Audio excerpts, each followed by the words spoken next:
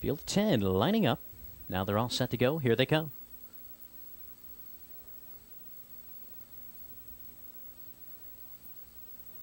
They're off and pacing far back after a miscue. Play over. Al Kaline on the inside, gunning for the lead. On the outside, here comes Koi Cadet. Now Koi Cadet takes command into the first turn. Al Kaline will yield in second, a length back to Safari Joe racing in third. Free Society away in fourth. Then it's a gap of two to Roguish Fella in fifth.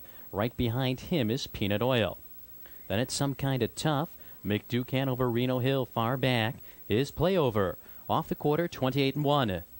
They race up the backstretch. Coy Cadet in command of the fractions leads at a tight length over Al Kaline.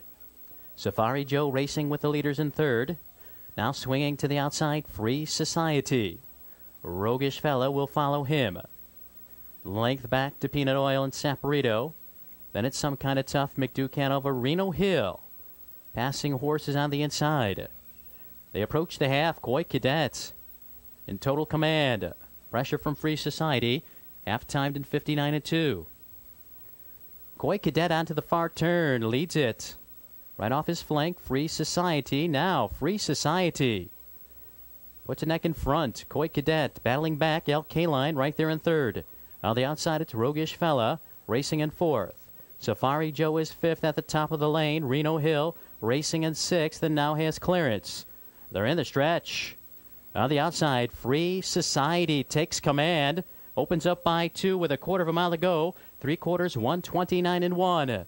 It's Free Society, your leader.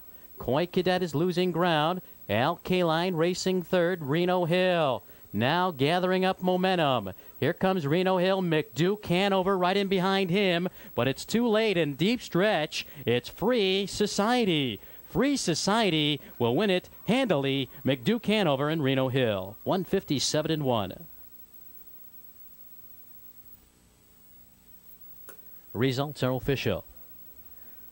5 7 exacta returns 34.60. The trifecta 5 7 10 returns $464.60.